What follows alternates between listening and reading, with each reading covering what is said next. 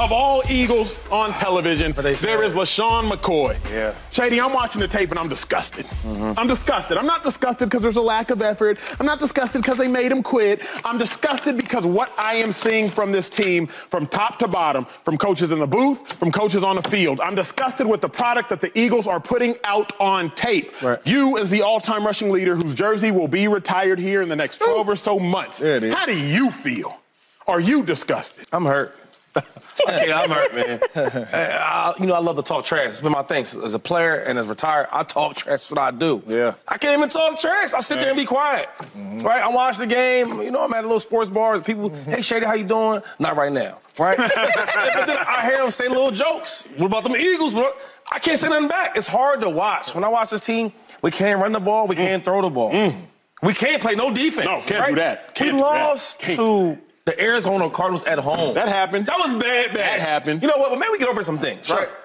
Then we go to New York, we lose to the Giants. Ugh. Two teams that's trying to lose. That's trying to get draft picks. Uh. so I just think, I think right now where we're at is that we are living off of the names on the paper. Mm. Right? When you look at the Eagles roster, you see the names, you see the quarterback, you mm-hmm. see the wide receivers, mm-hmm. you see the offensive lineman. Mm-hmm. On defense, same thing. But we're not playing like that. So it's, I, we're, I don't even know what to say. I mean, I had all these notes here. Is- the thing is, we're not playing Eagle football, and it's hard to watch. Shady, I have watched, I Ooh, would I hear say, pain in my dog. every Eagles game since I had been a part of them the last nine years, since mm. 2013, however long ago that's been. Ah. You've watched a lot of Eagles games. You've played in just as many as you have watched. Ah. LeSean McCoy, is this as bad or as low as you felt about your Eagles in a long time? Absolutely. Mm. We were winning cl- games like this. It was close games, but we still find ways to win. We're not even having a chance to do that now. Now, like the bum teams is like actually like beating up on us. and mm-hmm. we can't respond. I, I miss my flag. I miss my right. I, I, I miss Slim here, the bird. I He ain't miss been here in a minute. I, I, I came with my diamonds. He got his diamonds. He's not even here. Ah. so yes, if you ask me, it's the worst it's ever been. Yes, mm. this is worse than when we were four and twelve with the Yeah. Eagles, right? Because we're such a there's such a good team Yes, now. true. And I really learned, Joy, that I am a bigger Eagle fan than I thought I was. Hmm. Playing, it's like, I'm, come on, Shady McCoy, you know what it is, course, 25. of course. When I retire, I say, yo, I'm really a, I'm really a diehard Eagle fan. Mm-hmm. And right now, I have nothing to talk about. Me and my group chats are silent. Mm. Ain't nobody in the group chat No, talking about hi, nothing. Matter of fact, Jeremy Maclin, Yep. he called me yesterday. Oh, no. Right? I'm thinking about the kids, about my kids, about life, real estate. It's he says, bruh, what we doing right now? we terrible. And then when I said, yeah, you're right. We terrible. So, I don't know. Hopefully these guys got an answer. I'm just, I'm devastated. I'm hurt. Terrible, devastated, hurt. Those are all the words that LeSean McCoy has used, rightfully so. The play, it speaks for itself. But, Joy, should the Eagles be disgusted? Disgusted is such a big, big word. It is. It is. Uh, it, it doesn't feel like it's their year. Doesn't feel like it's their year. I'm going to sprinkle maybe some optimism on it. Uh, I don't want to see Slim. I know James does not want to see Slim. Uh, I'm not rooting against the Eagles, but do we bring Slim back if they beat the Bucks? At this point, yes. No, no, they got to earn it. I'm They not. I'm, I'm not suggesting this. To be clear, I'm not suggesting this. Um, anyone, Joy, anyone. well, remember we talked about you know should they blow the Giants out, and I was trying to say it is all professionals on the other side of the field. They all get checks on Tuesday. They you know they all have their buys and they have the contracts and all- all that stuff. They have all that too. So you can get slapped any any weekend, any different kind of way, especially if you're not playing good football. Disgusted. Here's the thing with the with the Eagles. They're too good to be sad, and they're too bad to be happy. Because for all of this, at one point in the season, you were 10 and 1 10 and 1, bro. and you still in the playoffs. So, and you could still win a playoff game. Now, I know the aspiration was to get back to the Super Bowl and win a Super Bowl, but, and I'm not trying to be optimistic here, I'm just saying the facts. Factually speaking, they were 10 and 1 at one point this season, mm-hmm. and they are in the postseason. Mm-hmm. They're going to play. They could win. And so all of this, you were in the Super Bowl last year. You come back this year. You have a up and down season, and say you win a playoff game. Now they might lose too. Very well could lose. But let's say they win. Is that is disgusted the word that we want to use to describe yes, that? yes, yes, Because, yes. because of the aspiration, because of the I'm saying- expectations. Like right now, because I, I I love what you're doing. Because I, I, thank you first. I mean, that's just, that's just, that's just how I see it. Instead of all, can you see? Can you see my Eagles going to a, a, a conference game? Okay, so I, the- don't even- I ain't talking about Tampa because they bad too. They they they they. we talking about Baker Mayfield get paid. He had 132 yards on 32 uh, passes. I'm not talking about. I'm just saying. Do you think the Eagles could be Not even win. Can we beat at a conference game? I don't. I don't know. I don't think so. But let's say they do. Let's just let's just be optimistic and say they But do. we can't. Yeah. I'm not even trying to be optimistic. I'm just saying they could. Like they could win this weekend. They could. They could. We This just, let, us just pretend. Let's I just mean- like let's go to a little zen place. Let's, Yeah. they could win this weekend. So that means you went to the playoffs, Uh-huh. then you went to the Super Bowl, then you went back to the playoffs, won a playoff game, and let's say you lose in the divisional round. So you have some adjustments you need to make next year. It was a bad year. You fought through. You found a way to win a playoff game, and then you go off into the horizon. My, I guess my question I is, I why are we so I can't. Serious about the Eagles? Because because we we a serious team. Yeah, yeah. You serious? No, no, no, no, Why no, no. are the rest of us? Philadelphia is the only place where you where, where, where saying they're gonna get booed or get snowballed, right? Philadelphia's the only place where we gonna boo the team. If we win at halftime, you still gonna get booed. It's a serious place to be. That's why guys like Ben Simmons couldn't make it. Correct. Everybody can't make it in Philadelphia. Talk you know what about I'm it. saying? Either you can make it in thick skin or you can't. So my thing to you is like, I hear what you're saying. I love it. Thank you. I hope that everything you say is right. But when you watch us play, when you watch us Yeah. it's bad. lose to the, the Arizona Cardinals who don't want to win. We watch us lose to the Giants. No, no. When you watch us get blown out by Blown the out. Giants, Blown it's out. like, how can you sit there and say like you think that Well, You guys. That's you gu- crazy. You guys, because you're the all-time, crazy. you're the all-time leading rusher. I hear the pain in your voice and your heart and all that. You guys were a serious team. Mm. Y'all not serious no more. Mm. They Y'all, joke. y'all, not- y'all not y'all not serious no more. we still kind of we still kind of serious. Nah, losing to the Cardinals, then blowing out, getting blown out by the Giants. That you guys are not a serious football team. I don't even know if the coaches is taking it serious. To be honest with you, this is disgusting, and it's a couple reasons why it's disgusting. It's disgusting number one because this is not the Philadelphia Eagles.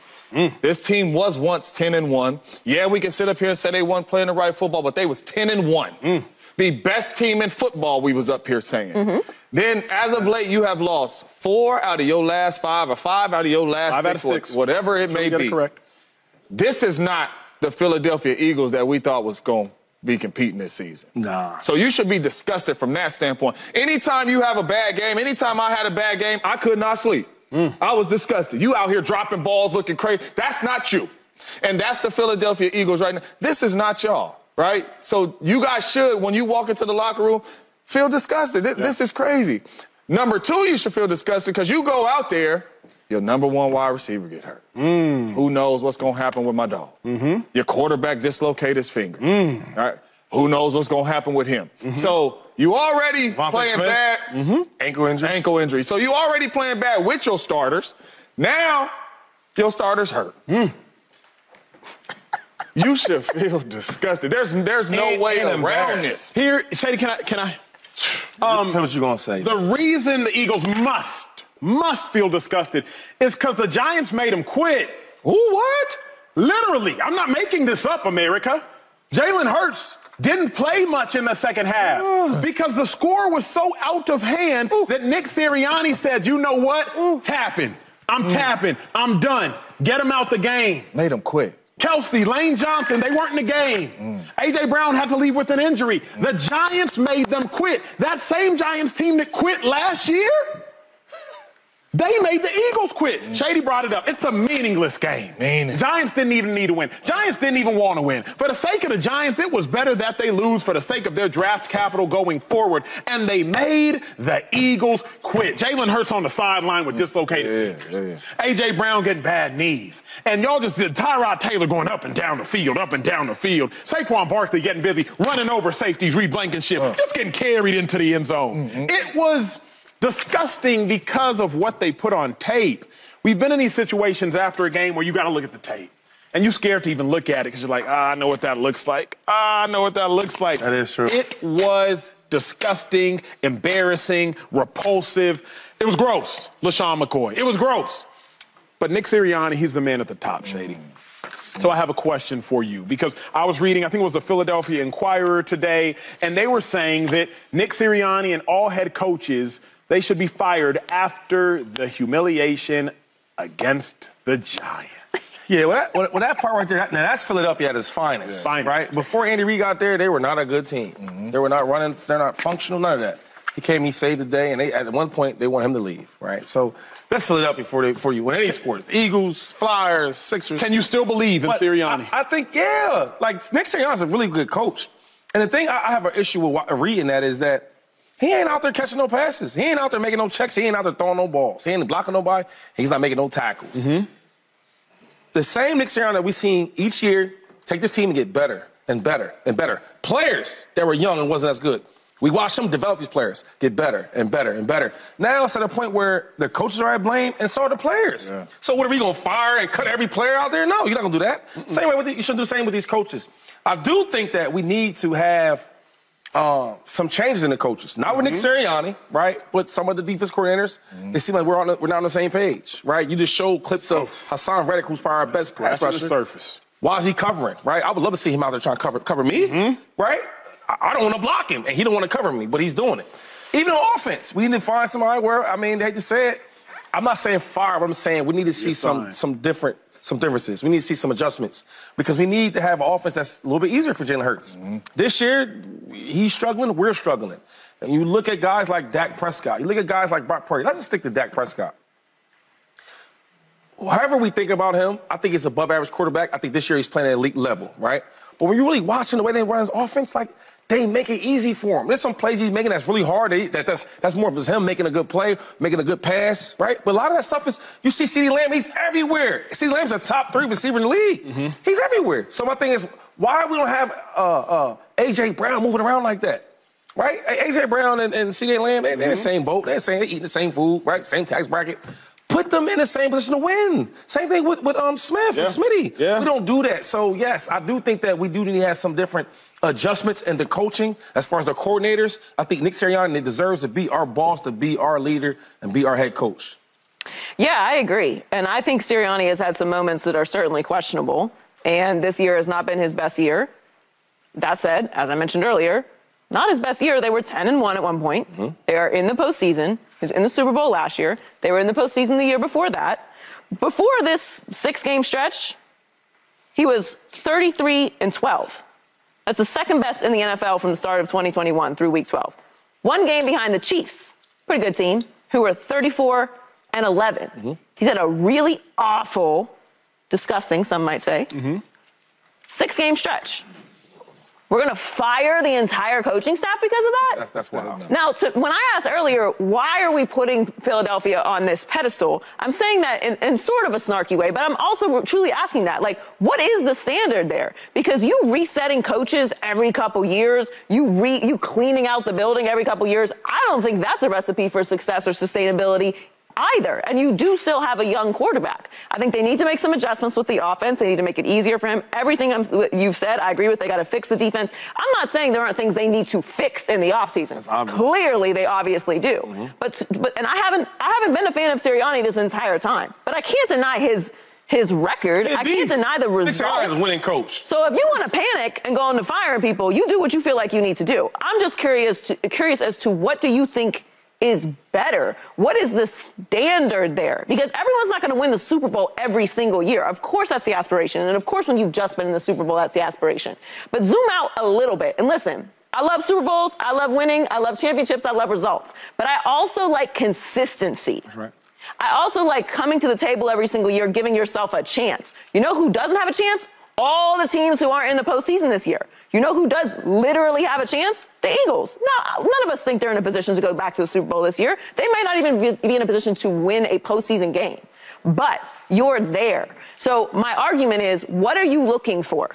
Are you looking for consistency? Are you looking for growth? Are you looking for player development? Are you looking for an opportunity to win because you're in the postseason? Because so far, that's what Nick Sirianni has offered you. I would say I'm looking for competency, for competence rather, and I'm not seeing that. Now, would, would I say keep Nick Sirianni? I would say yes, mm-hmm. because Nick Sirianni is a sure as opposed to an unknown. But you got to get rid of 90% of the coaching staff. 90%? So, yeah, I'm keeping I'm keeping Jeff Stoutland, offensive line coach. I'm keeping Michael Clay, special teams coach. Outside of that, I'm not go. tethered to nobody. The running back coach? You, you can keep him too. You know better than I, so I won't. I won't. I'm saying, I mean, dispute his, I mean, both his running backs last year Correct. Miles Sanders got busy. and this year did well. Okay. Keep him. But like all the linebacker coach, good on him. Yeah. Safeties coach, defensive line coach, and it's just because the Eagles aren't put players aren't being put in positions to win. Mm-hmm. For the, all the reasons I might hear of keeping Nick Sirianni, I would ask very simply, what's the reason to keep him? What's the reason? And I don't just want to hear it because they're winning. Mm-hmm. Why are they winning? And now why are they losing? Because that's the predicament the Eagles are here in in the first place. Yeah, but the Eagles are 10 and one Mm-hmm. Well, then they were 10 and 2. And then they were 10 and 3. And then they were 10 and 4. And then they were 10 and 5 or 11 and 5, and now here they are at 11 and 6. All right. So go ahead. So wait, so every year he's been in the league, he's been a, a playoff team, correct? Mm-hmm. Okay, so that, that's that's hard to do for one, right? And if you want to replace, see, my thing is replacing it. Nick has been so good. How are you gonna replace that? So we talk about growth. Jalen Hurts from where he started to now, you can never tell me that he'd have been this. I'm gonna be honest. Jalen Hurts from from the beginning. Don't you think he's done this? I mean, but that, that, that's Yeah, foot- this year. That, this year, but that's football though. Like I, I I didn't have a straight great career this every year. How many coaches have a great career every? I mean, a great year every year as a coach? It don't happen like that. So my thing is, for Nick Sirianni's off year to be in the playoffs, to be a game away from winning our division, I'm taking that. But here's my problem, Shady. Okay, listen. we, we've had this tension all take- I'm season taking long. that. My problem with all of this is why are they so bad? It is not just because their quarterback got hurt. Yeah. Bengals, uh, Chief, uh, not Chiefs, Bengals, the Vikings, the Colts, right? The Eagles. I'm showing you why they're so I- bad, I- I and they it. haven't done But- anything but every- to but- fix it. Okay, but everybody goes. So look, Andy Reid. I think Andy Reid's the. I don't know no coach better than Andy Reid. They struggling. They they they don't. Mm-hmm. Sure. They don't, they don't like a disciplined team. They don't like a smart team. But you have your why. hold on, hold on. Let's, let's just go to all these things. Yep. Okay. Doug Pederson. I think he's a beast as a coach. Look at them. They ain't playoffs. Mm-hmm. But you have a why. You have a However why. you, however you want to point the finger, I'm just telling you what it is. this is the we look at all these top coaches though, and they have years where they don't they don't do well. They look bad. I don't disagree. I'm just uh, saying I don't like the reason for why the Eagles are doing bad because Nick Sirianni could fix Well, this I'll, reason. I will tell you the reason why the Eagles are being are bad right now. Nick Sirianni's not Andy Reid. He's not Mike McCarthy. I'm not talking about a winning coach. Andy Reid call plays. Mike call plays. Mm-hmm. He does not. He depends on his offensive coordinators to call the plays. He depends on his defensive coordinators to call Correct. the plays. So he's not really in on a lot of those play callings. This is his first time as an NFL head coach that he's been through this. He lost two coordinators, defense and offensive coordinators. These course. are two new dudes that came in here. Nick didn't bring them with, with him. You understand what I'm saying? So Nick hired these, these offensive coordinators and defensive coordinators that is with the Colts, that is with the Cardinals, right? You lose that. Now you come in here, and that's why you see the, the way the defense is struggling. You fire that coach or put him in the in the box and bring in, you know, another coach to run the defense. He's doing stuff totally different. You just showed clips with the first defensive coordinator. He rushing. This defensive coordinator, he dropping. What are we doing? He's the best pass rusher on the football team. The way you build and have success as a football team, your assistant coaches have a lot to do with Yes, it. they. A lot to do with that. And when you start and you talk about coaching, to me, it is not Nick. Nick will throw a challenge flag here. I want to go for it here. Mm-hmm. But other than that, the responsibility is on the other coaches, and that's during the week also. So then And why they are, doing a So then why job. are you keeping Nick? You got- because if he's not calling plays offensively nor defensively, the camaraderie of the locker room obviously is not translating right now, nor do- can we see it right now. The defense hasn't been great. The offense hasn't been great. Then why are you keeping him? Because- I'm not saying don't. I'm just asking why. Where, wh- and then you replace him with who? With an offensive mind who does call plays. And maybe he's defensive mind who terrible. And maybe plays. he doesn't work well with Jalen Hurts. And maybe he doesn't blend well with Philadelphia. Maybe the team doesn't respond to him. Whenever you are replacing someone, especially someone who has had results, and we, we keep saying this, oh, like all he does is win. That's the whole point. That's all that matters. All, nothing else matters. Win, you lose. You win, you're in the playoffs. You win, you get to the Super Bowl. That's how it works. That's all that matters. We can get into all this other nuance. That's for players. For coaches, do you win? Do you lose? You can run a dumpster fire of an organization. If you win, don't nobody care. We have a lot of examples of that. For players, it's very different. You can't just win. You got to put up numbers, or you got to do this, or you got to do that. So when we're talking about coaches and replacing him, and I don't even know why I'm, like I'm, I feel so adamant about this. I'm just like these are the results. It is hard to replace assistant coaches. And when you have success, your assistant coaches leave. It has nothing to do with who the head coach is. That's why that's why good coaches, that's why great all-time coaches have coaching trees. Correct. But Subscribe here to get the latest from Speak and go watch a few segments from our other shows on FS1.